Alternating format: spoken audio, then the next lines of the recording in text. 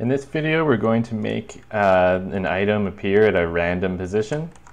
So I've got this key and say I have like a, a maze or something. Maybe I want this key to be over there and the next time I play the game I want it to be over there. So to do this we're going to go into Assets, uh, Scripts.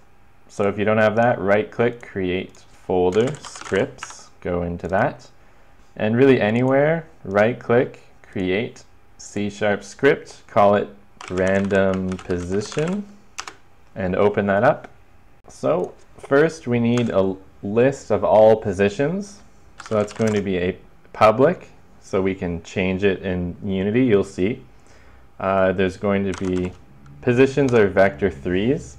Three means there's three numbers, the x, y, and z. And we're going to call this positions. And actually, we're going to do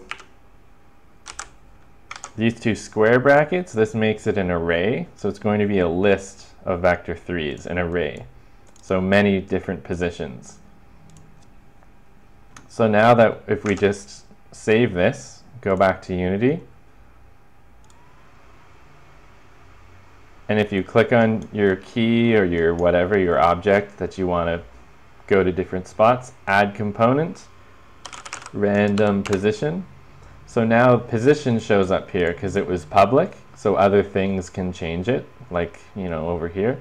We're going to make size, let's say, 3. So there's three different positions. Uh, for x, I'll do negative 7. Here, I'll do 7. And here, I'll do 12. And for all the heights, I'll do 10, I guess. So these are my three positions that I, I I chose. I could make more or less or whatever. So now back to the code. When we start, we don't need update because we're not going to do it many times. We're going to do it once and start. So when we start, we need to make our transform dot position equal to one of these positions. So positions, and the way you get just one of them is like this.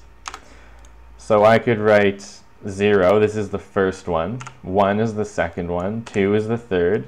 If I write 5 or 58, it'll actually crash. It'll give you an error because it's too many. It's too far. We don't have that many, I mean. So instead of 0, 1, or 2, this needs to be a random number.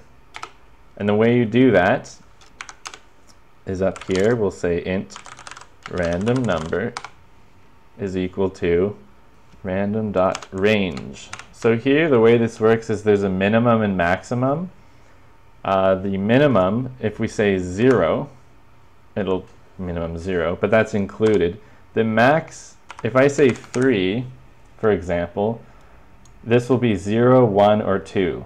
We can't get three. It's exclusive. So it's inclusive on the minimum and exclusive on the maximum, and that will get you. So for the 3, we don't actually want 3, because this, this will work right now. But what if I do 10? If I have 10 random positions, you know, we want to have this 3 be accurate, so you just do positions dot length. So if we have three things, this will be 0, 1, or 2. If we have 10 things, it'll be 0, 1, 2, 8, 9. So that's good. So save this. And now when we press play, the key is up there. We'll press play again. The key is still up there. Press play again. Oh, that's over there now. And it's going to be random every time.